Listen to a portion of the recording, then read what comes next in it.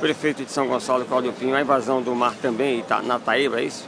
Exatamente. Estamos, lá Bomar fez um projeto, estamos indo ao Ministério, audiência hoje às 15h30, para apresentarmos o projeto e discutirmos com o ministro as possíveis ajudas, convênios para que a gente possa é, diminuir esse problema que está afetando a praia lá da Taíba. Está ameaçando já condomínio, casa, esse não? Já, já teve momentos de destruição de casas, é, a área onde os pescadores deixavam também suas jangadas já não existe mais, atingindo também pousadas e hotéis, e nós temos que encontrar uma solução para que a gente revitalize a Praia da Taíba. Quebra-mar a solução não? É um quebra-mar e um enroncamento. E quanto seria o projeto? 7 milhões de reais.